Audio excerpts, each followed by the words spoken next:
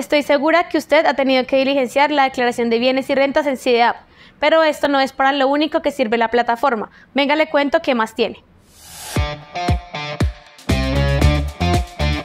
Fundamentalmente, CIDEAP nos ayuda a conocer cómo está conformado el talento humano del distrito.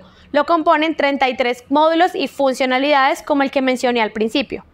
Lo usamos todos y todas, pero también tiene muchísimas funcionalidades que ayudan a las áreas de talento humano, por ejemplo, a hacer verificaciones de hojas de vida, a gestionar los procesos de seguridad y salud en el trabajo o incluso a cosas tan específicas como conocer quién está teletrabajando para no preocuparse si llegan o no a la oficina.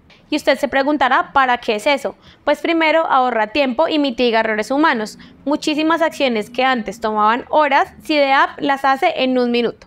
Pero lo más importante es que nos permite conocerlos y tomar decisiones en base a lo que los 368.098 usuarios registrados necesitan y además a la ciudadanía también le sirve, ya que esta información se organiza en nuestro sistema de analítica de datos, en el cual se pueden consultar un grupo de datos gigantesco en tiempo real que promueve la transparencia y el control social.